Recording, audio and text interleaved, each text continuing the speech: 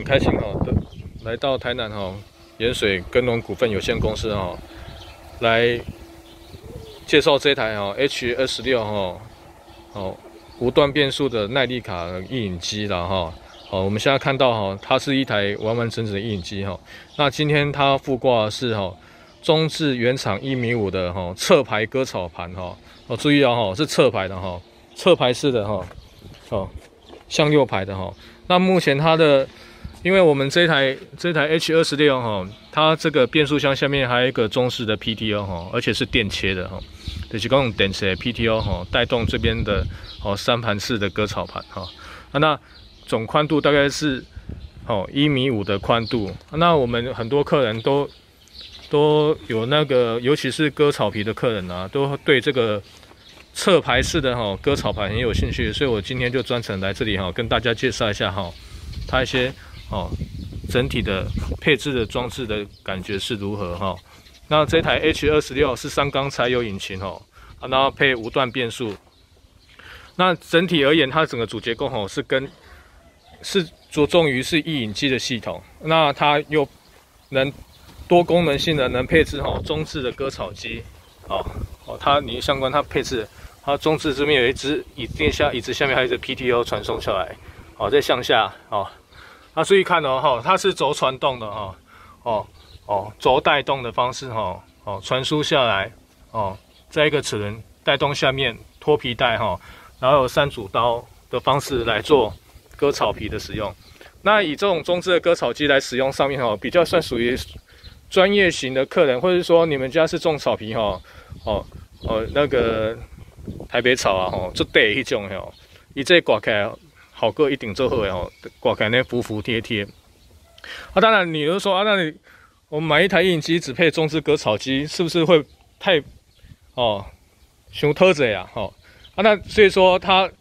我们说这台多功能性就在于说这台车还可以配前置铲斗哦。你如果加架构，你还有前置铲斗的功能哦，吐当吐塞哈。而且光头前做压差可以当兔上班哈，把一些比较重的东西可以移植到别的地方去。那再加上这台车 H 二十六有个特点是说哈，它还有后置的那个后置三点后置 PT 哦哦，那你还再加购一下回转离的部分，不管是要配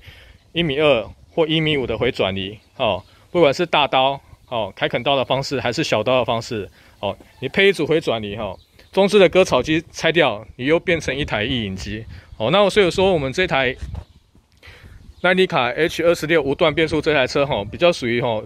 全功能性的，不管你割草它也可以，哦，打田它也可以，哦，那你如果加购副挂铲斗的话哦，它又变成一个小型山猫、小型堆高机啊。那在应用我们现在很多退休的客人的使用上哦，农田田间使用上、农务需求上面哦，都可以足以去应付你们最基本的要求。啊，再加上一个特点，说哦，它的配件很多哦，就像我们还有影片中有一台那个哦尾车哦，不管是一吨半的或两吨的哦，你配你配了一台，你前前次配了一个铲斗哦，啊，你个无，